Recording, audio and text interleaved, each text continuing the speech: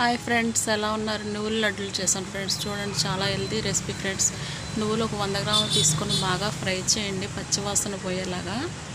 పచ్చివాసన పోయేలాగా ఫ్రై చేసిన తర్వాత వంద గ్రాములకు తక్కువ బెల్లం తీసుకోండి. ఎక్కువ స్వీట్ అయినా బాగుండదండి. సండే కదా ఇంట్లో ఉంటారు. అందరు కొంచెం చేసి ఇట్లా పెడతా ఉంటే బాగుంటుంది. హెల్తీ రెసిపీ కూడా. బయట వాటికన్నా ఇంట్లో చేసి పెడితే చాలా బాగుంటుంది ఫ్రెండ్స్. హెల్తీ చాలా హెల్తీగా ఉంటారు.